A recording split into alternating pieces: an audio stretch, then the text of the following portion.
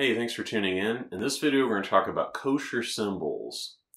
So we realized at some point that, hey, I think we need to be eating cleanly. We need to be eating according to God's commandments.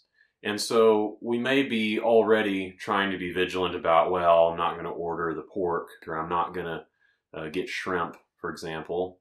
Uh, we may already be aware of that, but there are other things that could be going on in our food that we're not aware of yet. Uh, a lot of times people have an idea of what goes on in food production, uh, whether it be at a restaurant, people throwing together the food, or if it's at a store, a manufactured product, or even just produce on the shelf, for example. We have this idea of what was going on, when it was produced, and how it was made. And that idea may not be real. It may be kind of a imagination that we built up.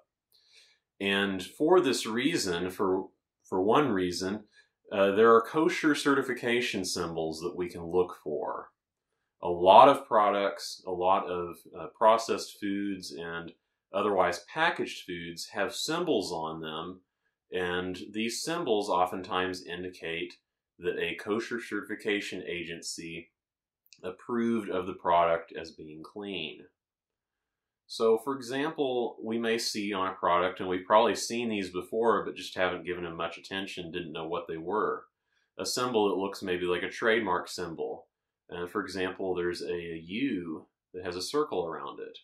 This is actually OU. It stands for Orthodox Union.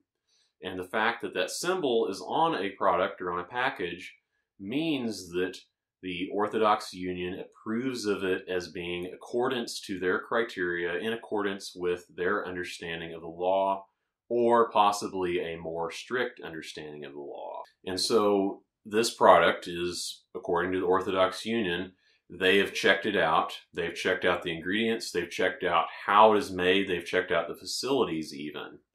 And then they approve, okay, this is uh, good to eat. This is kosher. Uh, there are a lot of symbols out there, even beyond just the OU symbol. Uh, there's a circle K, which is actually OK, and there's a star K, and also we've got CRC. It's a triangle with the letter CRC in it. And there's also a Kaf K, which is the uh, Hebrew equivalent for the letter K, and a lot of different symbols out there that certify that a product is according to their understanding of the law. Now, I want to kind of elaborate on the understanding of the law, their understanding of the law. Uh, most of these groups are Orthodox Jewish groups, and they are uh, certifying things according to their Orthodox Jewish understanding of the law. And in my view, Orthodox opinion is not equivalent to written law uh, Orthodox opinion in some ways conflicts with written law. But in general, a lot of these agencies actually certify to a more strict interpretation even than they personally believe. And so the Orthodox Union will certify things according to what they might consider an ultra Orthodox interpretation of the law, which is even more strict. In general, what this amounts to for us in trying to observe the written law is that they will be adhering to the written law in their certification uh, with some more added restrictions that we wouldn't have added if we were just following the written law, for example. And so, in general, when we're looking at these products and we see, oh, OU, that means it's okay to eat in general. And uh, these, this would be a kosher choice, so to speak.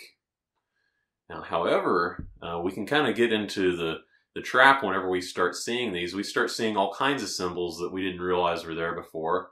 Uh, not all of these symbols are kosher symbols. There can be uh, trade union symbols and other symbols on a product that don't mean it's certified. And also, there can be certifications that are not according to the same criteria. Now, I said that, for example, when we see OU, it means that the Orthodox Union certified it according to their understanding of the law. Well, there are other agencies that, of course, they have their understanding of the law, which is different. So there's one agency out there, I don't know what the, the symbol uh, stands for or what the agency is behind it, but they'll actually certify uh, insect derived ingredients. They'll certify unclean insect derived products into the food. And so they'll put their stamp of approval on it, and that's a problem. Uh, there are also some other agencies out there that are kind of controversial, and I don't presume to know all the details on this one in particular, but a Triangle K is an example of this. It's a very common certification symbol. Uh, it does not, uh, well, I do not recommend it. I do not use it. There are some uh, controversial issues surrounding it. Also, we may see just a plain script K. It just looks like a normal K on the product, but obviously we're looking for these Ks and we're looking for these certification symbols. So, oh, okay, a K, that must mean it's kosher. Well, uh, it's not made according to some certification symbol for a reason. Uh, usually that's because it's a, just a marketing gimmick. And a lot of times, from what I've seen, it actually means that it's not kosher. There's some problem with it. And now, sometimes there might have been some rabbi behind it that gave it a stamp of approval, so to speak. And that's the reason it has this plain script K on it. But uh, usually it's some rogue rabbi that has some uh, controversial interpretation of the law. That's the whole reason why it doesn't have a different symbol on it. That's the whole reason why they had to get the plain script K on it is because they couldn't get any other certification on it a lot of times.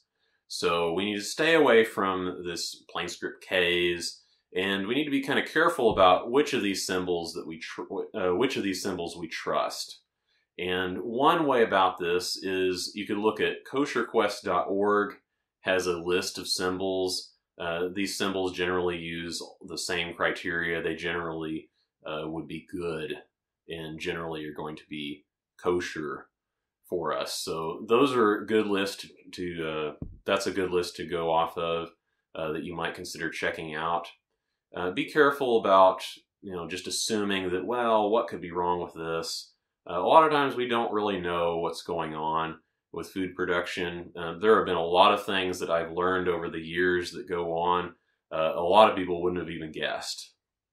And so there are a reason why products are certified today. And it's very, very convenient to find products that do have certification symbols, even just at a regular supermarket. There are all kinds of products. It really surprises me considering how much of a minority we are in as far as even caring about clean and unclean and caring about kosher.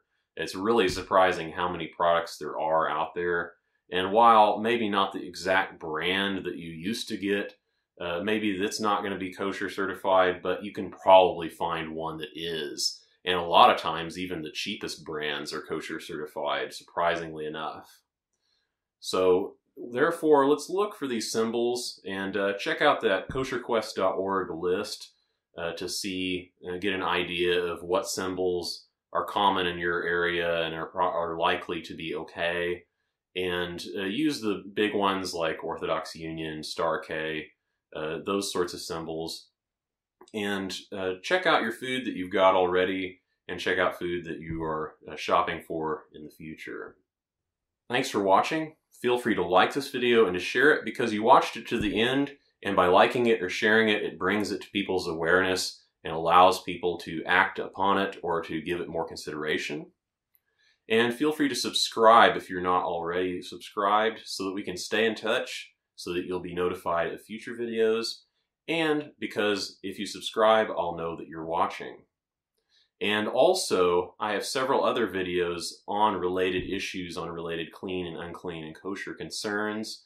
Uh, we talk about uh, ingredients, trying to decide if a product is kosher or not based upon an ingredients list. And in the future, we'll be talking about some more issues as well. So thanks for watching. Remember the commands. Peace.